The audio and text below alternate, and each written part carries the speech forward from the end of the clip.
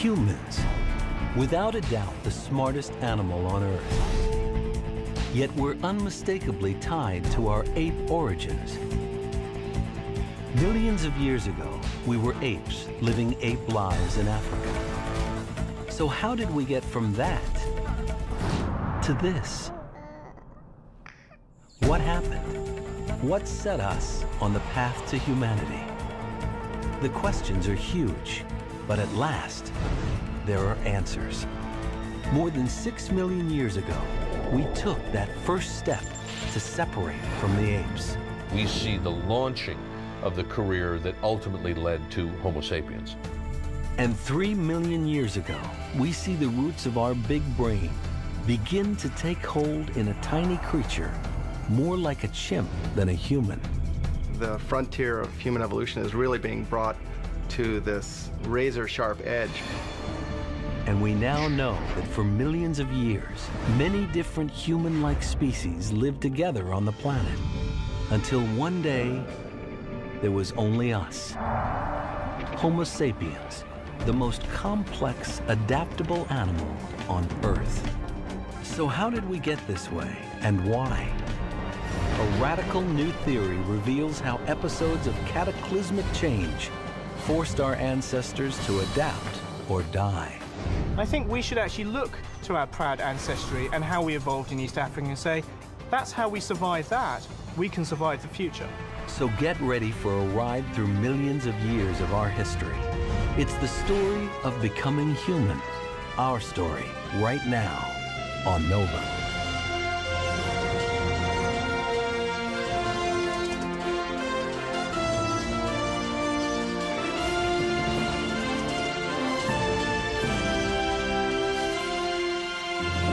Funding for NOVA is provided by the following.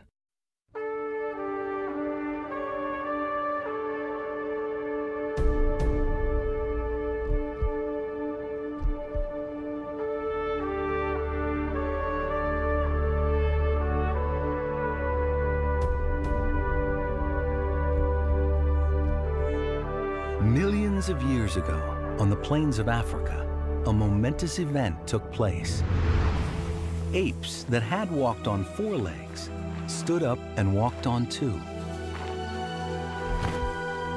Eventually, this change in posture would be followed by a change in their brains.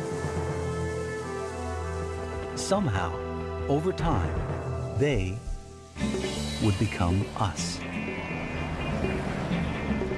We know it happened, but we've never known when or why until now.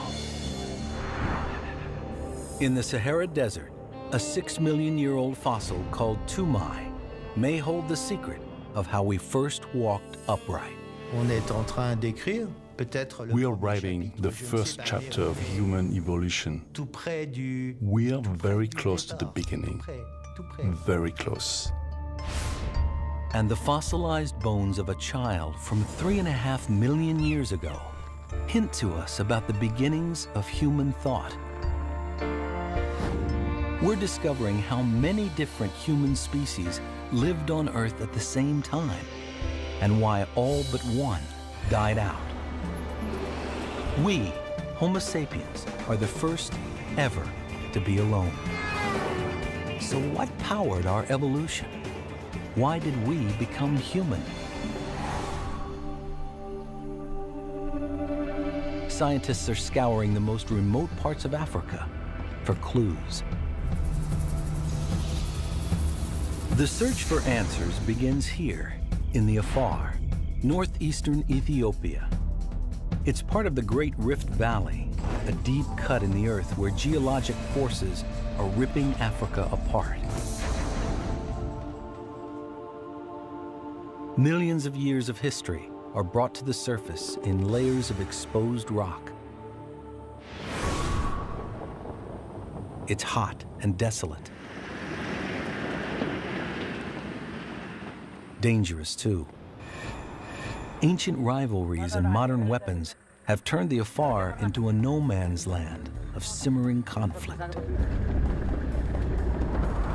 But Zerai Alemseged has made this forbidding place his life's work.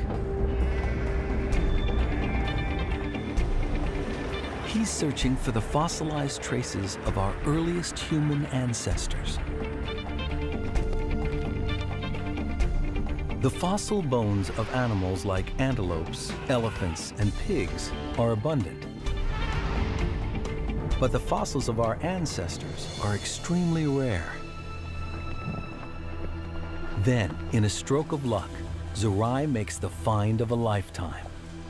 A find that illuminates our origins in a unique way. On that afternoon, we decided to survey this hillside. And the first thing that was spotted was a cheekbone of the face. It was a face so tiny, it had to be a baby. But not a baby chimp. He could tell that from its shape. The skull was embedded in sandstone, but as Zerai turned it over, he could see more bones inside. Everything was squashed against uh, the base of the skull and completely covered by sandstone block. Clues to the age of the fossil came from a distinctive feature in the landscape. White bands of volcanic ash. And that is the volcanic ash dated to 3.4 million years ago. If the volcanic ash is 3.4 million years old, Zerai's fossil, which was lying just above it, must be younger.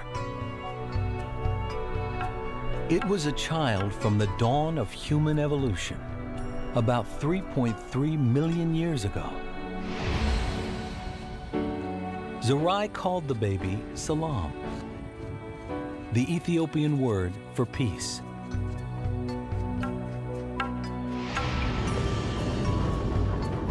Then he set off on a quest to unravel her many mysteries. Her journey began a very, very long time ago. Imagine the entire span of recorded human history, taking us back to the Egyptian pyramids, about 5,000 years. Double it, 10,000 years ago, when plants were domesticated and agriculture begins double it again to the time when Ice Age hunters paint stunning images on cave walls. And keep doubling six more times, taking us back 1.3 million years when the first creature who really looked like us hunted on the plains of Africa. And then keep traveling back another two million years. And only then do we arrive in the time when Salam lived in Ethiopia nearly three and a half million years ago. What were Salam and her family like? What kind of world did they live in? The answers are hidden in their fossil bones.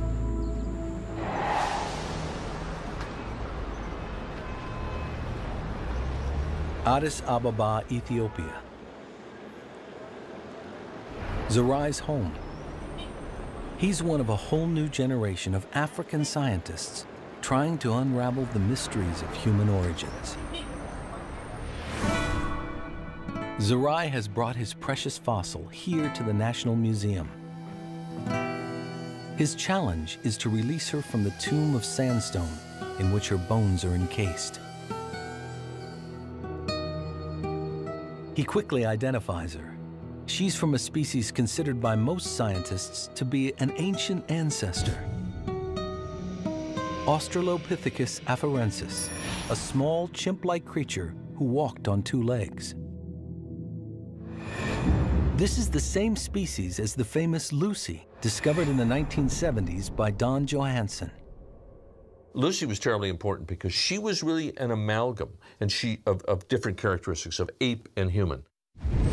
I think specimens like Salam and Lucy are extraordinary simply because you can look at them and see evolution in the making. But seeing evolution in the making will take some work. Salam's fossilized bones are solid rock, held together by a mesh of soft sandstone. it has to be painstakingly removed.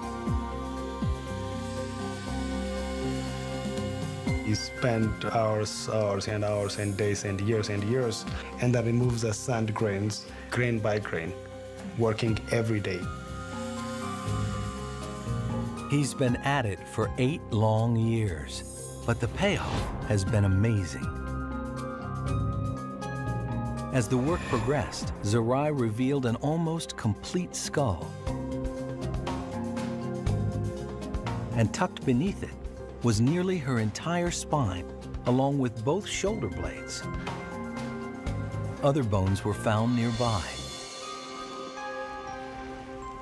An almost complete foot. This is the kneecap. The tibia here. Never before had a child's skeleton been found so ancient and so complete.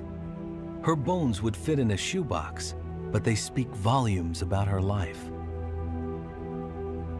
For example, to find out how old she was when she died, Zerai looked at her teeth but not the baby teeth visible in her jaw. The adult teeth growing inside the bone, as seen in a CT scan.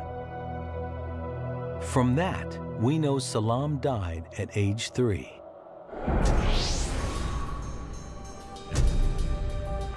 Like Lucy, she testifies to a crucial step in our evolution. Unlike apes, these creatures walked upright as the first fossil Don Johanson found clearly revealed. It was sticking out of the ground like that. And I gently tapped it with my uh, sneaker, and this is what fell out of the ground. And it is the, the, this is your, the top end of your shin bone. So the kneecap would sit right in here. And very close by, in two pieces, I found this bone. And when you put them together, and you see how they move and articulate, that it has all the hallmarks of, uh, of an upright person. Other bones confirm that Lucy walked on two legs, like us. This is Lucy's pelvis. And uh, in a, and you can see how different a chimpanzee is. And the reorientation of these, these hip bones. In a, in a chimp, they're facing straight forward. So here's, this is, this is what everybody's sitting on in their living room right now. So they're not identical, but clearly these two resemble each other much more closely, right? Than either one of these uh, resembles the pelvis of, uh, of an ape. From the waist down, Lucy was like us. From the waist up, she and her kind were all ape. Salam's skeleton is the same, with chimp-like shoulder blades, giving her the range of motion needed for climbing and swinging. These ancient creatures must have spent time in the trees, possibly sleeping there at night to keep away from predators, but walking upright on the ground during the day. They were at home in two worlds. What was their environment like?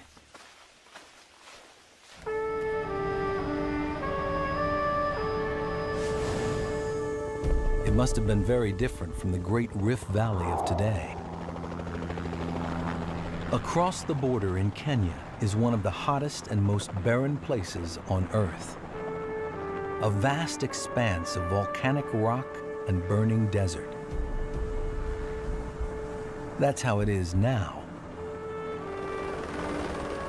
But there's good evidence that for most of its history, it was very different. Researchers braving temperatures over 100 degrees are seeing signs of a dramatic transformation here in the Suguta Valley. The Suguta Valley was entirely covered in water, up to an elevation of about 580 meters. So you can imagine that all this valley was filled by a huge lake. A huge lake that's deeper than any of the Great Lakes. In fact, the entire African continent used to be a lot wetter than it is today. Many millions of years ago, Long before Salam and Lucy, Africa was a wet tropical environment covered with rainforest.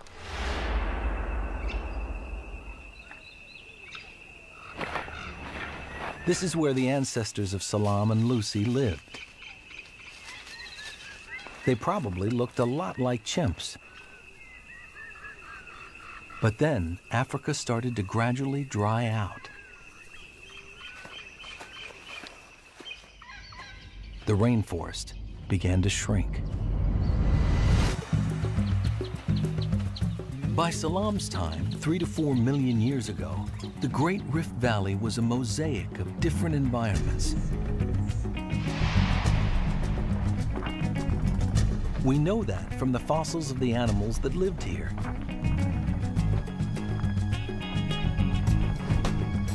Their bones litter the ground. This is a canine of a hippopotamus. So this is probably a skeleton of a hippopotamus. How can one find a hippo in this type of environment? Being nice antelope. The fossils tell the story of a vanished landscape. This is a lower jaw of an antelope. Three million years ago, the Rift Valley was a patchwork of grassy plains, scattered woodlands, lakes, and rivers. Definitely very different from what we see here today. Wow, a nice pig here. As their environment changed, scientists believe our ancestors changed too. They had been creatures who spent most of their time in trees, like chimps and orangutans today. But as their forests shrank, some of them developed the trait that we take for granted bipedalism, walking on two legs. This is one of the defining characteristics of humans. But how did bipedalism develop and why? Bipedalism is such an unusual trait. There's no other mammal that habitually walks on two legs like we do. Because it's unique, it's hard to figure out why it happened. There are a lot of theories. One of them is that they stood up to be able to see over tall grass. Another theory, they stood up to be able to pick fruits off of the low branches of trees, the way chimpanzees do today. Another theory states that they stood up to cool more efficiently so that we don't have as much sun beating on so much of our body. And I think the most compelling idea, the most compelling hypothesis is that it saved us energy. And energy is crucial to survival.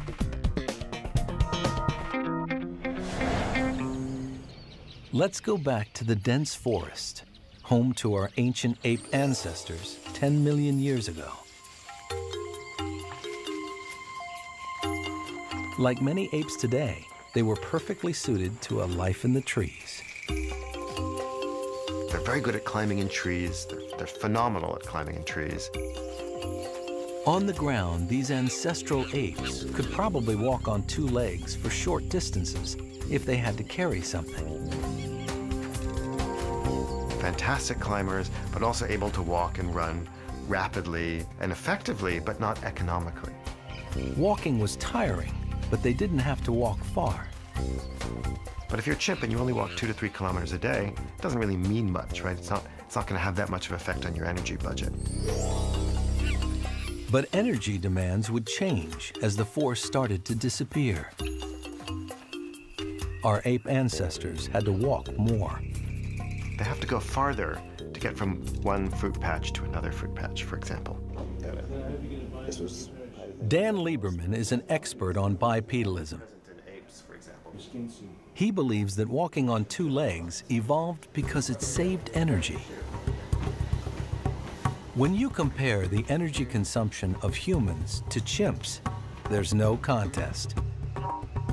A chimp is an energy glutton. It spends enormous amount of energy, about four times as much energy as a human walking. Whether it walks on four legs or two, a chimp can't compete with the human gait. It's poorly designed to withstand the forces of gravity. It has to spend a lot of muscular effort to keep itself from collapsing into a little pile of chimpness or whatever uh, with each step. According to Lieberman, small anatomical differences created large energy savings, setting our ancestors on the path to bipedalism, a path that would eventually lead to us. But how long did it take? When Lucy's kind were first discovered, many people thought they were the so-called missing link between apes and humans. But the science of genetics has transformed our understanding with a technique called the molecular clock. Today, scientists can compare DNA from closely related species to find out how long ago they split from a common ancestor. It's just a very simple idea that the rate of change in DNA sequences is more or less constant over time. And that's an extraordinarily powerful concept because it means that you have a way of determining when two species last shared a common ancestor. Living forms evolve because DNA sometimes spontaneously changes as it copies itself. These changes happen at a surprisingly regular rate. By counting the differences between the genetic code of chimps and humans, we can calculate how long they've been evolving away from each other. The dates that one almost always gets are around five to seven million years ago for when humans and chimpanzees last shared a common ancestor. Here was proof that humans diverged from the apes much earlier than we thought, about six million years ago. It shows Lucy and Salam weren't one step removed from chimps, but many. They may even be closer to us than to the first human ancestor. So what came before Lucy and Salam? Who was our earliest ancestor?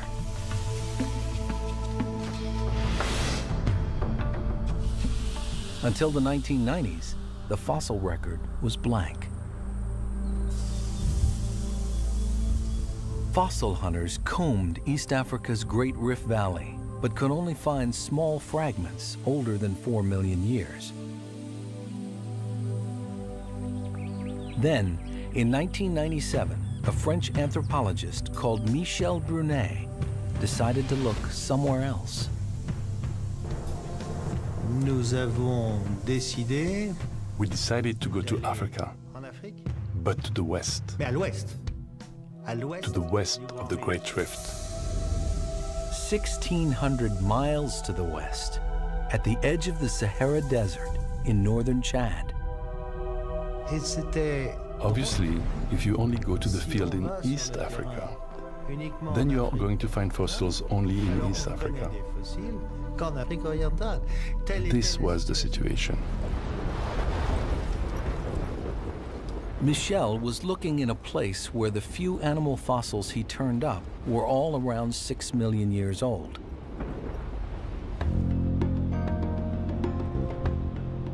No one expected any human-like fossils to be found in a layer that ancient. Il disait non. And everyone said, no, there just aren't any fossils there. Michel was not to be deterred. He was stubborn, many thought to the point of madness. He and his team spent years searching the desert for signs of our ancestors, and year after year, they came up empty. Then, on their 26th expedition in 2001, they found a smashed, misshapen skull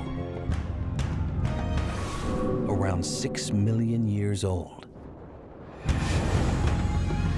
They called it Sahelanthropus tchadensis. There were no bones apart from the skull. Could it be a human ancestor or just another ape? The skull was so deformed, it was difficult to tell. Michel would have to reconstruct it.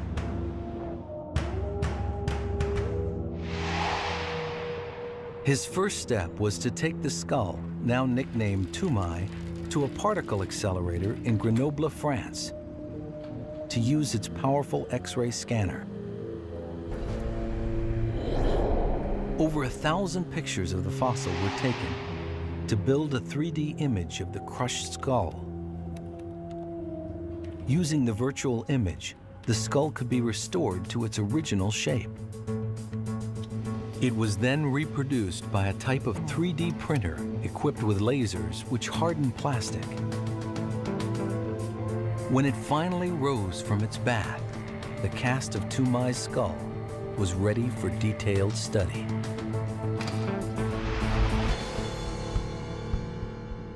The cast allows Michel to answer an important question. Did this ancient creature walk on two legs millions of years before Lucy or Salam? It's how the skull connects to the spine that provides the vital clue. And Michel could infer that from the shape of Toumaï's skull. If Toumaï's skull is set on the neck of an ape that walks on all fours, his eyes point downward. That can't be right. Set on the upright spine of a biped, his eyes point straight ahead. For Michel, this proved Toumaï walked upright. Anatomically speaking, he had a receding back skull of a biped. The back of his skull is not that of a gorilla, like some people are trying to say. No, not at all. All you have to do is look. Some scientists still question whether Toumaï was really a biped. But if Michel is right, his six million year old fossil is a good candidate for the first human ancestor. Discoveries like this are changing the way we see human evolution. Scientists used to have a simple idea. The growth of open grasslands forced our ancestors out of the trees. They became bipeds, and in short order, brain size increased. Human evolution took off. We were on our way to becoming human. That simple idea prevailed for more than a century. Darwin thought that we left the trees, uh, walked on the ground upright, freed our hands, made tools, got big brains, reduced our canines, and so on, all at the same time. But walking upright may not have automatically led to big brains at all. From Toumaï to Salam, both bipeds, brains stayed small. And they weren't the only ones. Over millions of years, there was a profusion of upright walkers with complicated names and chimp-sized brains. Like Orrorin tugenensis, what we're seeing is a fluorescence of species, multiple species. They're probably subtly different from each other. Ardipithecus ramidus. But it's important to recognize that there are not major differences among these species. Australopithecus africanus. They were all bipeds, big snouts, more or less chimp-sized brains. Kenyanthropus platyops. This way of life, this suite of adaptations, lasted for millions of years. Small-brained bipedal apes were extremely successful. Debates rage among scientists about which one eventually led to us. But as a group, they flourished for about 25 times longer than we've been around. They survived and thrived as brain size flatlined for almost 4 million years.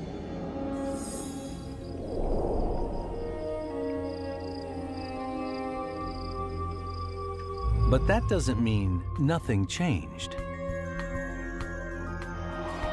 There's evidence that the seeds of our humanity were growing in these ape-like creatures. One key difference between humans and apes is the length of childhood. But what do we know about the childhood of our early ancestors? We know all about the adult individuals, but we didn't know much about the children. The brains of baby chimps have an early growth spurt. They're almost fully formed by age three. In humans, that growth spurt is slower, and it takes nearly two decades for our brains to fully mature. But what about Salam's brain 3.3 million years ago? But of course, most exciting. Her skull tells us all we need to know. We have her milk teeth and her adult teeth, which give us her age, three years old. And we have a cast of the inside of her skull, which tells us about her brain. Uh, when you have this, you can directly measure how much of the brain was formed at age three. From other fossils, we know how large Salam's brain would have been as an adult. So Zerai could calculate how much of her brain was already formed by age three when she died. He knows what the answer would be for a chimp. By age three, a chimpanzee would have over 90% of the brain formed. But Salam's brain was only around 75% of its adult size, suggesting it was growing up slower.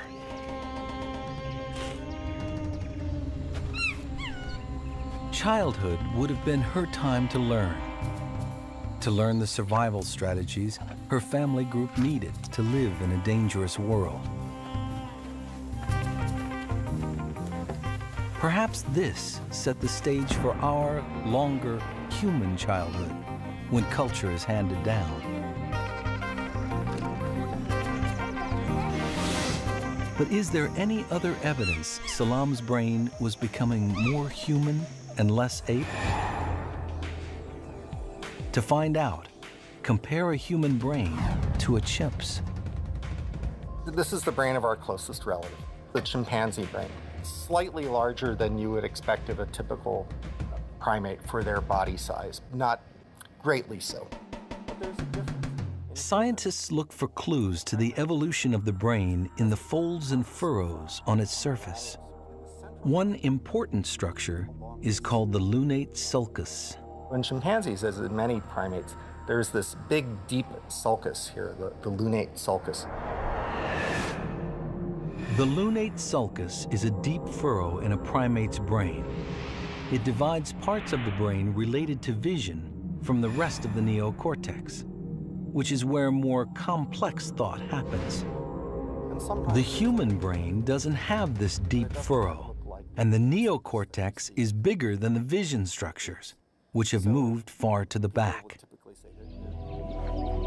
So did Salam have the deep furrow and small neocortex of a chimp? Or had something changed? Brains don't fossilize, but her remarkably complete skull provides a way to see some of the different structures of her brain. A cast of the brain case, called an endocast, preserves the impression of the brain's surface. Ralph Holloway has a collection of 300 brain endocasts from many of our ancestors. What a paleoneurologist like myself will be looking for are those indications on the endocast that might suggest reorganization taking place. And that's why things like the so-called infamous lunate sulcus becomes important.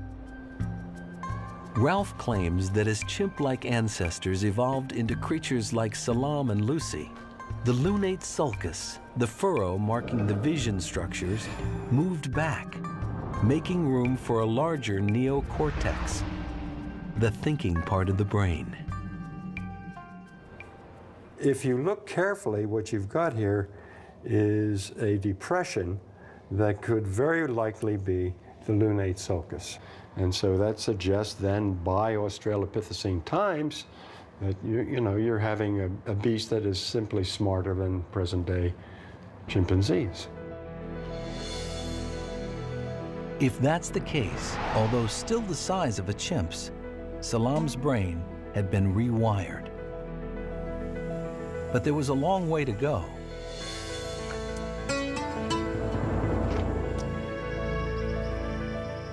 She and her kind were still very ape-like. It would take another million years for the seeds of humanity contained in Salam's tiny frame to bear fruit. It's a time still shrouded in mystery. For almost half a million years, the fossil record is virtually silent. But in this blank period, something is happening. In two and a half million year old layers, scientists begin to find something new. We might be tempted to call them rocks, but someone was shaping them. They are the first stone tools. The way we know this is a tool instead of just a broken rock is that it's broken in um, a very particular way, breaking a flake off this way, that way, this way, back and forth. So there is a method behind how this rock was broken in, in order to make it into a tool, and it's not a random method. It's considered unlikely they were made by Australopithecus, Lucy's kind. Australopithecus was around for a couple of million years and did not make stone tools. But if not Lucy's kind, then who? The gap in the fossil record makes it difficult to say. But that's not surprising. Tools preserve easily. Bones, much less so. Finally, the skulls of a new creature begin to turn up. Is this the toolmaker? The skulls are different from what came before. They represent the dawn of a new era, beginning around two million years ago. This is our era, the era of the genus Homo, humans. The mysterious toolmaker, Homo habilis, is the first of these new creatures. But we definitely have evidence that the stone tools were being used to to break the long bones in order to get to the marrow inside the long bones. There were clear cut marks on the bones of turtles, crocodiles, big antelopes, little antelopes, even hippos, really big animals like hippos. So we know that meat had become an, a new important part of the diet of Homo habilis. The first fossil to be called Homo habilis included 21 bones of the hand and was nicknamed Handyman. This little bone is the bone at the end of the thumb. And that little bone in Homo habilis, like in humans, is very broad. And the broad bone reflects having a broad pad on the thumb with a lot of surface area for fine precision grip. With newly dexterous hands, this creature could make better tools. But what was it like? The few skeletal bones that have been found indicate a creature much smaller than us, about the same size as Lucy and Salam's kind, Australopithecus, three to four feet tall. Homo habilis was still ape-like in many ways, but with a critical difference. What we see in the evolution of Homo habilis is an expansion in the brain size compared to Australopithecus. So here is the skull of Australopithecus, and it has no forehead. It just has a straight slope behind the orbits. Whereas here in Homo habilis, you see um, a sloping, elevated forehead. And in Australopithecus, the area behind the orbits is pinched in, also reflecting a small frontal region. In contrast, in Homo habilis, we see an expansion of that area behind the orbits that points to an expansion in the cognitive capabilities of higher functions of the higher reasoning functions of the brain. It was an expansion equivalent to a doubling of brain volume. Once you go from something like 400 cc's in Australopithecines to, say, 700, 800 cc's in Homo habilis, yes, you're getting, getting a big increase in cognitive capacity. And along with his bigger brain, Homo habilis was starting to look a lot more human. The contours of fossil skulls allow reconstructionist Viktor Deak to reveal the faces of early human beings.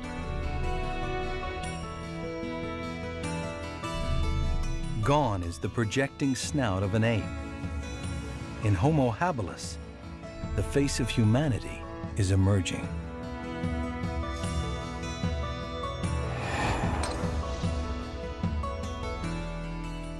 This poses a great enigma. Why, after millions of years of flatlining, did brain size and mental capacities suddenly take off?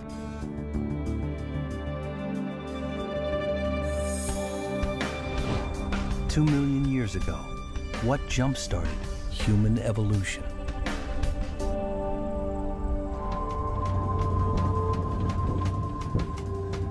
Scientists all over Africa looked for clues. Here in Kenya, they found some. At the southern end of the Great Rift Valley.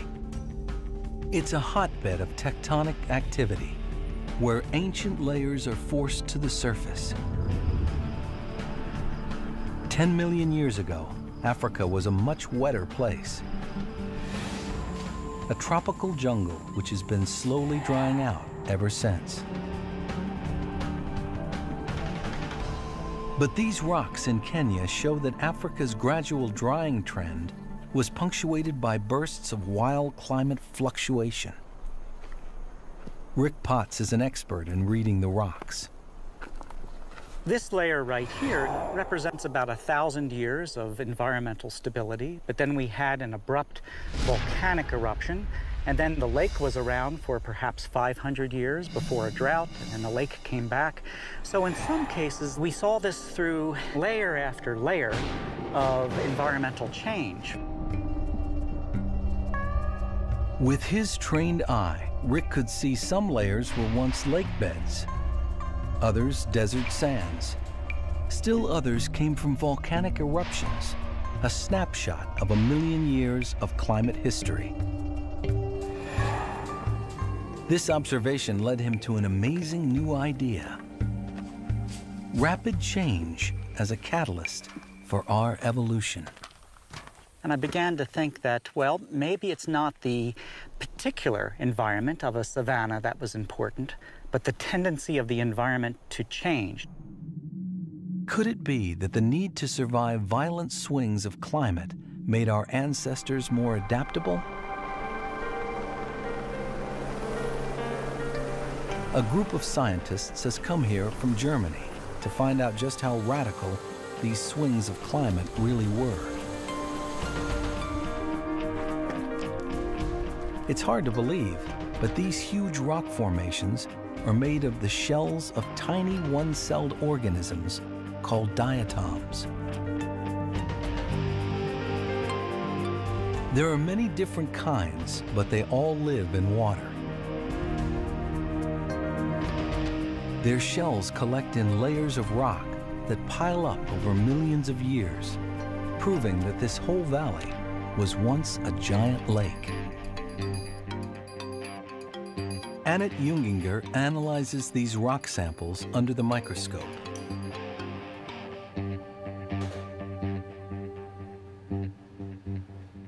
What I've di discovered was that those white layers consist of a special kind of diatoms which only live in deep lakes. But between the white layers, she also finds other species of diatoms which only live in shallow water. It means that in this spot, a massive lake appeared and disappeared and reappeared many times. These lakes are, are really significant. These are not small little ponds. And what we've been able to document now is, is a series of lakes that are cycling. When we're talking freshwater lakes, the size of Lake Victoria, filling the whole Rift Valley and then disappearing. Enormous amount of water rushing through this area. This constant flux of turnover, of change. An awful time to live here. It's not just a unidirectional change, it's going back and forth. Against the backdrop of a slow drying trend, Africa was periodically pulsing with climate change. Wet, dry, then wet again, sometimes in the space of a thousand years. Punishing drought alternated with storms and monsoons. Rivers and forests sprang up, then turned to dry grassland, all in the evolutionary blink of an eye.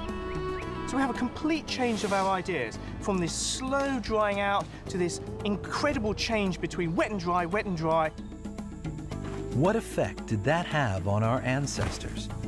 Could these periods of climate instability be the key to understanding the evolutionary leap from small bipedal apes to the larger-brained toolmaker, Homo habilis? To know that, scientists needed a detailed record that went back further than the diatoms. Way back to the time when Homo habilis was evolving two million years ago. That's only found in one place, under the ocean. Layers of deep sea sediment tell a story that goes back millions of years. They have to be drilled from the ocean floor. At his laboratory in upstate New York, Peter deMenocal keeps thousands of columns of sand, silt, and rock, a library of ocean cores. One of the really attractive features about ocean sediments is that they accumulate very slowly, but very gradually and continuously over time. Each three-foot-long core holds a continuous record of dust carried on the wind from Africa into the ocean, where it now sits on the bottom. There we go, nice! There you go. Wow, sweet, okay. An expert eye can detect distinct layers. Thick in dry years, when the dust is easily picked up by the wind, thin in wet years. By measuring the layers, they can tell when the climate was wet or dry. So we can read these deep sea sediments almost like an Earth history book of past changes in climate. To make sense of all this dirt, they have to know when it blew into the ocean. They can do this by dating the shells of tiny sea creatures that sank to the bottom at the same time. So this gives us an age, the other analysis gives us the climate. There we go, nice! Peter took this finely detailed climate diary and compared it to the grand arc of our human evolution. For the three million years between Toumaï and Salam, when brain size was flatlining, African climate was stable, dry, getting a little drier. Then came 200,000 years of wildly varying climate, careening unpredictably between wet and dry. During that time, stone tools appeared, along with the larger-brained creatures that made them. Africa was also home to many other human-like species. Climate instability put pressure on all of them. So there are these time periods when African climate was really unstable. So anything that was living there at the time would have had to adapt to really dramatically different climate changes. Those that couldn't adapt died out, like Salam and Lucy's kind. Better problem solvers, like Homo habilis, survived.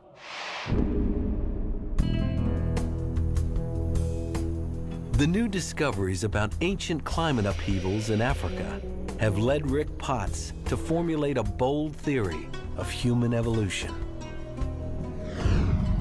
The traditional idea we have had about human evolution is that it was the savanna, the grassy plain with some trees on it, that was the driving force. But instead, what we've discovered is that climate changed all the time. And so the idea that we've come up with is that variability itself was the driving force of human evolution, and that our ancestors were adapted to change itself. It's a simple but revolutionary idea. Human evolution is nature's experiment with versatility. We're not adapted to any one environment or climate, but to many. We are creatures of climate change. I think we should actually look to our proud ancestry and how we evolved in East Africa and say, that's how we survived that. We can survive the future. because we are that creature, because we are that smart. Today, climate change seems to threaten our survival. But it may have held the keys to the astonishing story of how we became who we are. Because it didn't stop two million years ago.